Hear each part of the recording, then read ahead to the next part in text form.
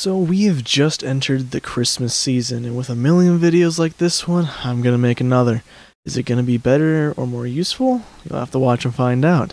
This is going to be a little more in depth in explanations of some of these gifts, so there will be timestamps and hopefully chapters available for you to skip around if you want. This also might be kind of a long video, so get your cocoa, I'll get my cola, and we'll get started.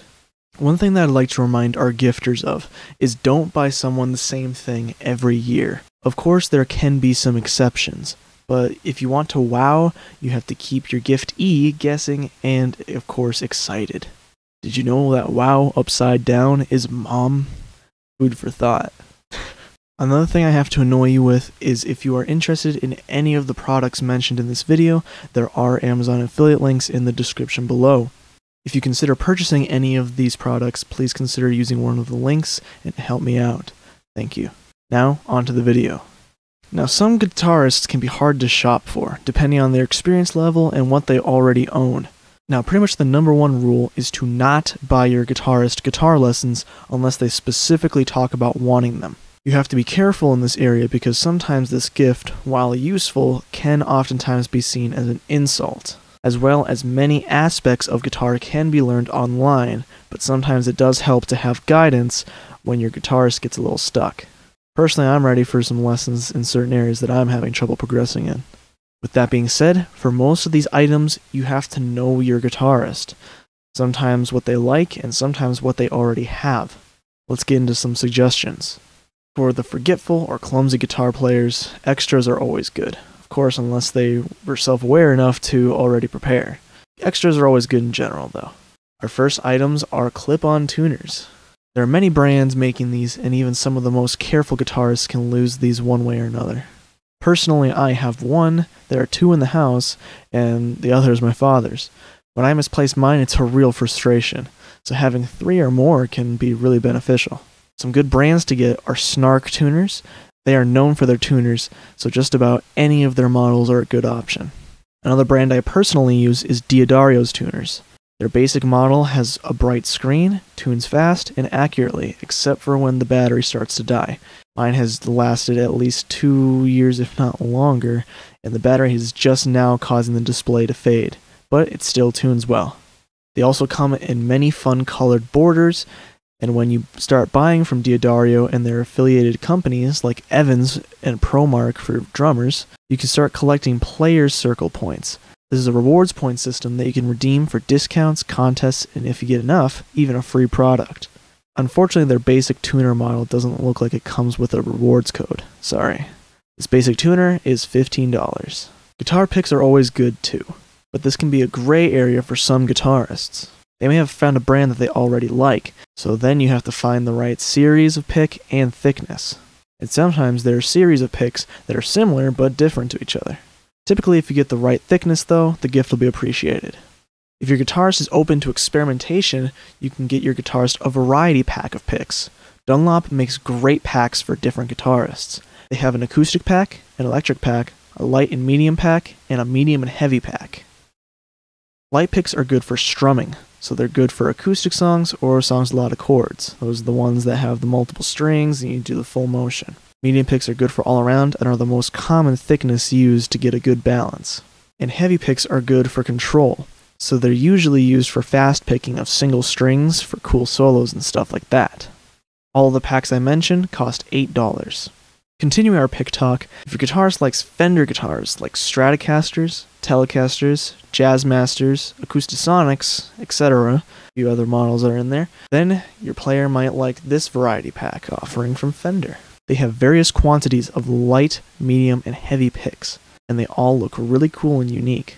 These can cost from $13 to 25, but you do get more picks in these packs than other typical packs. Another option of packs is the D'Addario packs. These only come in medium and heavy packs, but do come with a few different styles of picks. However, I would be careful or honestly avoid this listing. It looks like the medium option is currently a different heavy pack, and again, I don't think they put rewards codes in these unfortunately. Both options cost $5.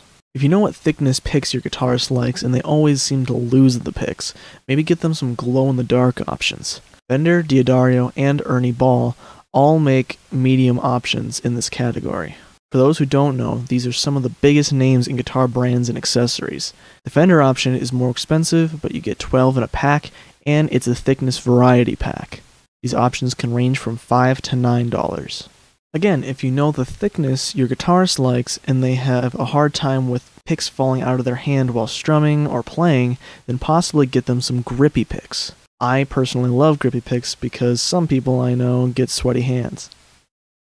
When I say grippy picks, I mean picks with added material to give them a little more stick for your fingers while playing. Some of my favorite options are Ibanez Wizard picks. These come in five possible different colors and three different thicknesses. There are two different listings. I don't know if the red and white versions are signatures or something, but they seem to be much more expensive. Additionally, when I used these, the sandpaper grip wore off somewhat fast, but that was probably because I have kind of toxic hands. These can cost from 5 to $15. A brand that I really like is Snarling Dog Brain Picks. They come in various thicknesses and colors to match the thicknesses. They also come in little tins, which are kind of neat. But the main attraction to these are the plastic bump grips. They're effective and won't wear down, though the in between of the bumps can get pretty disgusting with use and age. Personally, I use the .73 red picks. That's pretty much the average medium thickness. Now, I just listed a couple that I like personally, but I can't mention every brand and type that makes grip picks. There's also some attachments that your guitarist can apply to their picks made by quite a few different brands, though I've never used any of them, so I don't know how well they work or stay on the picks. So I have added a general link to get you started if you want to do a general search for alternatives. Okay, we've talked enough about picks, but let's stay on the extras topic. Now, I can suggest strings, but that can also be a tricky area, especially for more experienced players. More experienced players probably have a preference of brand, style, and thickness, much like picks. String thickness has to do with what tuning they play in, which I understand for some shoppers may be beyond their understanding, especially if you can't go up and just simply ask what tunings your player plays in. Strings can affect the sound of a guitar depending on the style of them, but this effect is more amplified with acoustic guitars.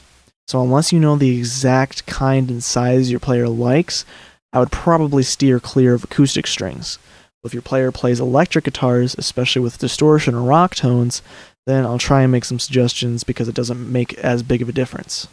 Before we go into strings, you have to find out what tuning they're playing in. So, other than asking them what tuning they're playing in or should be playing in, what you can do is look up the guitar tabs if you want to surprise them. The two best resource sites for me have been Songsterr and Ultimate Guitar Tabs. To be able to find the tuning, you have to know what songs your player is playing.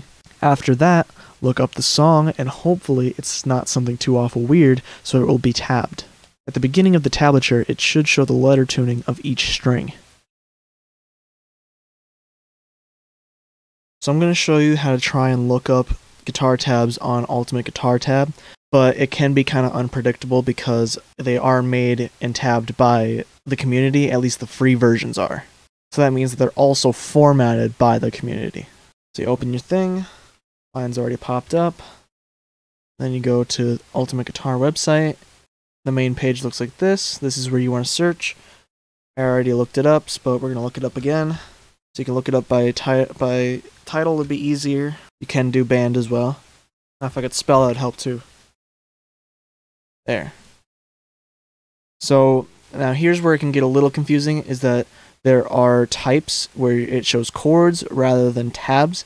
Typically tab is what you want because that'll show the individual numbers and stuff rather than just chords.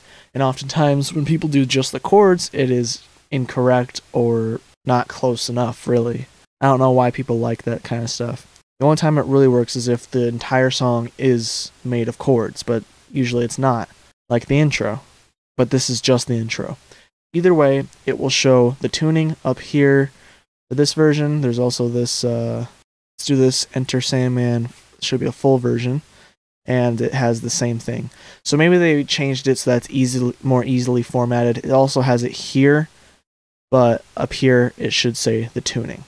So if I say a shortened version of tuning like drop D or standard, to save time in the video, please look up the tunings to see if they match what is shown in the tablature. Also, don't worry if the higher numbers or the thinner strings don't match exactly in terms of the gauge of the string. If they're a size or two off, it should be okay. Typically, the lower numbers or the thicker strings are the important ones when using lower tunings. Standard tuning, drop D, or even half step down tuning for electric guitars today typically use 10 to 46 packs. That is a regular slinky pack from Ernie Ball, which is one of the most infamous string brands because they were one of the first around and typically one of the most affordable.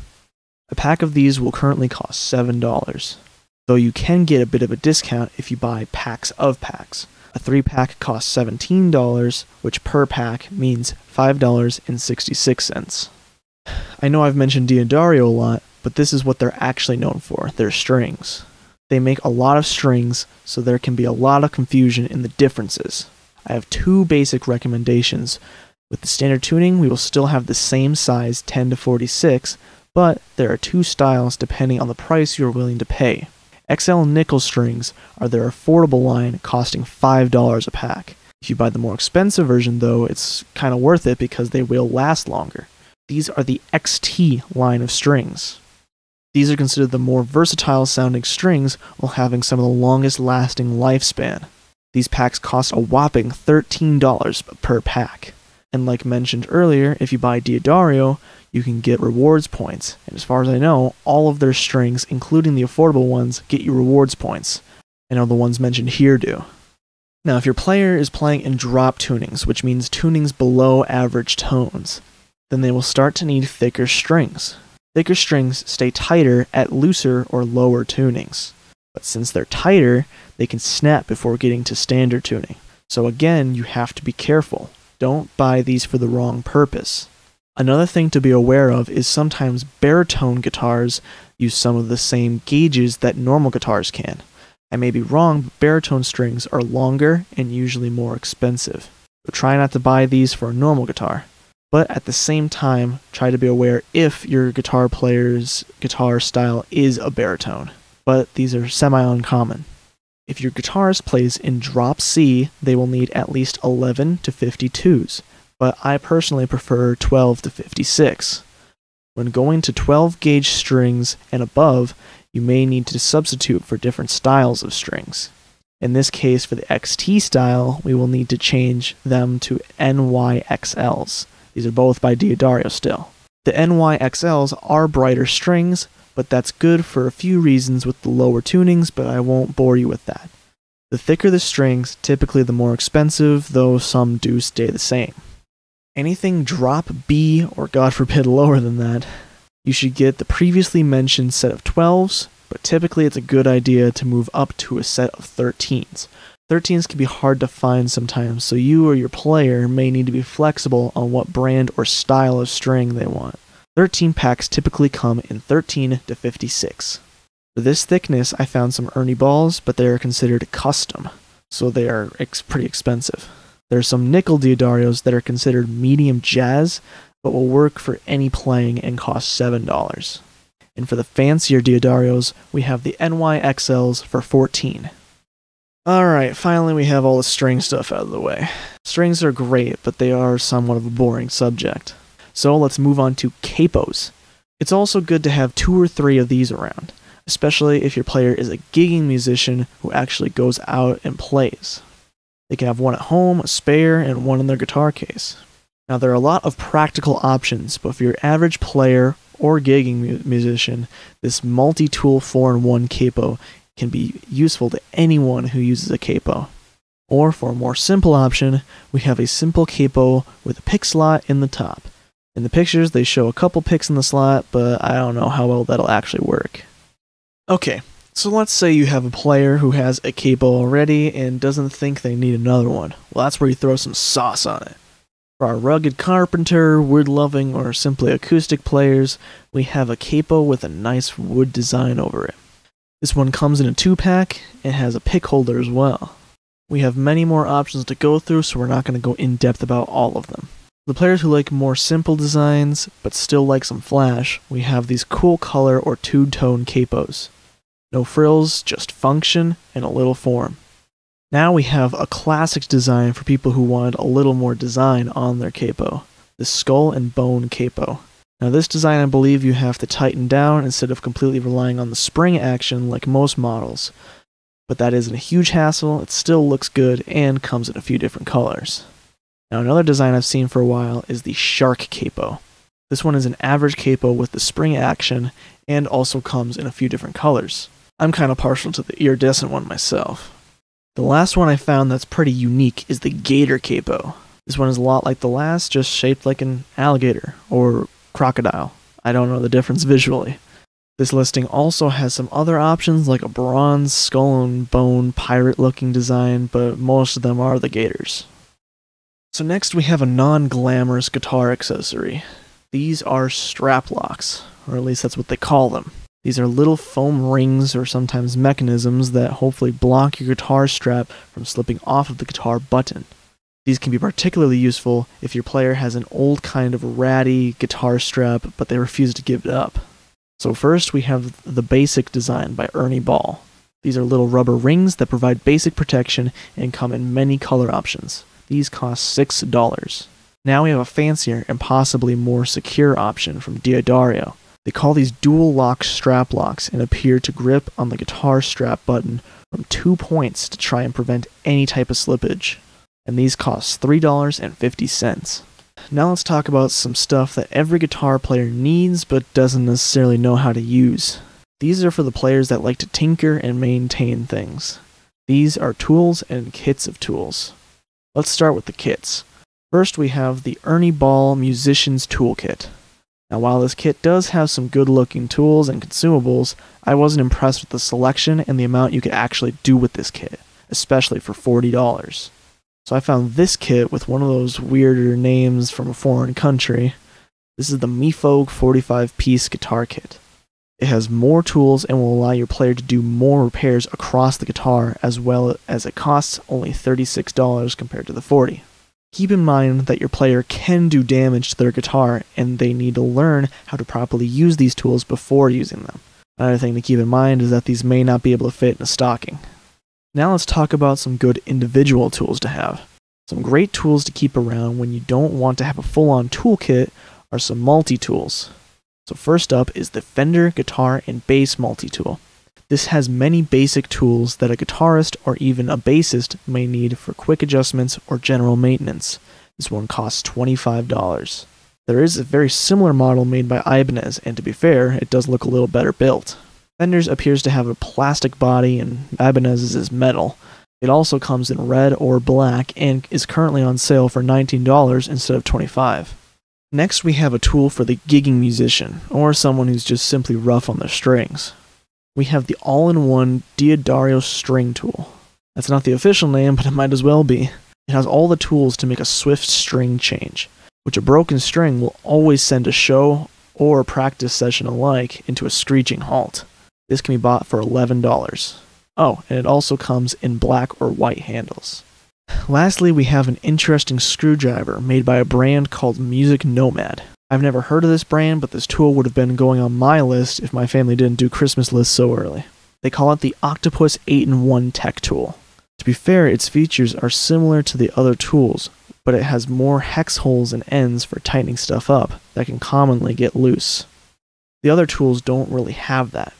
So this is a great option for the guitar player that doesn't tinker but doesn't need a tool from time to time. This simple tool costs $14. So passing the multi-tools, we have actual individual tools for specific uses. Some of these are more useful than others, but let's talk about them anyway. A great thing to have around for anyone who does maintenance or work on their guitar is a neck cradle. This properly supports the guitar by the neck, so when the headstock on the guitar is a bent model, there's no damage from the headstock resting on the table or anything like that.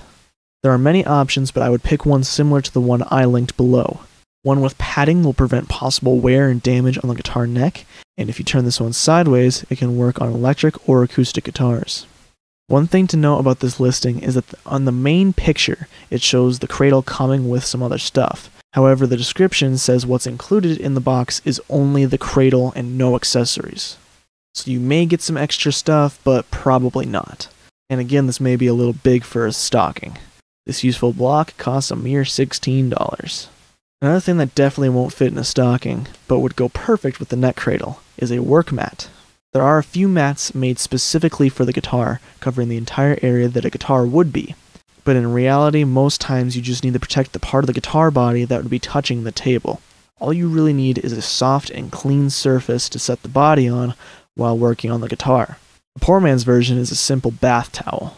But if you would like your player to feel, look, and work professionally, then one of these are a great option. There are many mats available, so I'll link the general search for the mats in the description, but I will also link to the Amazon overall pick, the Ernie Ball Instrument Maintenance Tech Mat.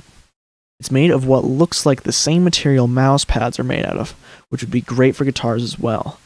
Personally, I'm drawn to the colors, but I do really like green. And this mat can be your gifties for $15. My next suggestion is a fret polishing kit. Frets are the little bars on the guitar that make notes happen properly. Well, these can get worn down and notches can be created in them that can affect playing negatively in a few ways. So this little set can help take those out and get your player's frets nice and shiny again. This comes with some metal strips that protect the wood around the frets while your player is polishing. These protectors actually have a slightly unique design that I haven't seen before yet. They have little hooks on the ends so they can be held with rubber bands so they're hands free. Most others come with handles that you have to hold while you're polishing with the other hand. It's not a big difference, but it can definitely help a beginner get the job done properly. While we're talking about maintaining the neck, I'll show you a closely related product. I was unaware, but apparently Music Nomad is an established company, and they make a 4.8 star rated with over 7,000 reviews fretboard conditioner and cleaner. Maple fretboards typically don't need this because they have a coating already on them, these are the kind with a light or saturated yellow necks on the top where the frets are. But laurel, or your average brown necks, are typically semi bare wood. I'm not for sure of the damages that can be caused by dried out necks, but to my knowledge, when a neck dries out, the frets can start to poke out the sides of the neck, which can make playing uncomfortable, or they can even start to cut up your hand as you play. And in some extreme circumstances, there can be damage to the neck, like cracking or something of that sort. But of course, most times the only reasons I hear to clean the fretboard is to simply make it look better and keep it sanitary. Either way, better safe than sorry, and a bottle costs $9. Another option that's a little more affordable, has similar reviews, and should be able to accomplish the same thing is D'Addario's fretboard conditioner and cleaner. There are other options as well, but these seem to be the best available currently. Since we're making such good transitions, let's talk about another related product, but not as closely. This is a tool mainly for acoustic and hollow body guitars, specifically with the versions that we're going to look at. Guitars technically should be kept at an optimal humidity. That's why if you go into a music store, there's typically that little room with a bunch of acoustic guitars. Now, for average people, this is an unreal expectation. Most of the times with electric guitars, it's not as big of a deal, especially with solid guitars. But with guitars that have wood exposed to the air, much like fretboards, the wood can start to dry out. Any guitars with sound holes are typically in danger of drying out, but a body drying out can be more serious than a neck. If your acoustic body starts to shift or change, then some serious damage can occur, whether it be to the structure of the inner bracings, or more rarely, visibly to the outside. So to prevent this, we have a simple tool called a guitar humidifier. The two that pop up immediately on my search are the two brands we just talked about in the last subject. Let's start with D'Addario. They make this basic humidifier design that holds a sponge and vents the moisture to the guitar. I guess they make a couple versions, but I can't tell the difference between the upgraded one and the basic one, other than the page says that the upgraded one can hold more water so it can last longer. But since they look the same to me, the price difference is quite shocking. The basic version is only $7, but the improved version is $20 normally and is currently on sale for 15 dollars Either way, a pretty huge jump for what looks like the same design. So next we have an even more expensive humidifier, but this one seems a little more worth it. This is a humidifier that you would buy for a more expensive guitar. This one is $30, but it has a digital screen on the lid that measures the humidity point and the temperature. So this is a tool to keep accurate readings to make sure that your guitar is hydrated and in a proper temperature. Though the temperature doesn't help as much as the humidity because if you put your guitar through a bunch of fluctuating temperatures already, it's probably too late. As well as you can't see it, and these work the best when they're in the guitar cases. My dad had a beautiful, expensive Ovation guitar that he used for over 20 years. Its body cracked on the move from Wisconsin to Arizona because of being in so many different climates, driving a U-Haul from one side of the states to the other. So instrument climate control is not a myth, and it is something to be aware of. Another bonus suggestion I will make, but not go into too much depth about, is a cordless soldering iron. Soldering is a skill that can come in handy in a few situations as a guitarist, and a cordless iron can save your player in a pinch situation. Personally, I put the Pinecil cordless soldering iron on my list. This is an affordable option, but is mainly not available on Amazon. The main unit is available on Amazon, but with a fair upcharge, and the shipping says it will take a while. If you buy it from their site, you can get it for a better price and with some of the more affordable but also important add ons. Though I also don't know how their shipping will compare to Amazon's, either in time or cost. So, even though this video is ending, it's technically not over. The next half of this video is about affordable guitar pedals, but the amount of time it took and the information that's all there, it can all stand as its own video. So I'm, that's what I'm going to do is split these up. So be on the lookout for that video. Subscribe if you want to. I understand that a lot of you may not have use for subscribing to a channel like mine. If you found this video helpful, please leave a like. All I can say is stay tuned for the next video because guitar pedals are a very just great way to be able to make playing guitar a lot more fun. So, for now, I'm going to say bye bye.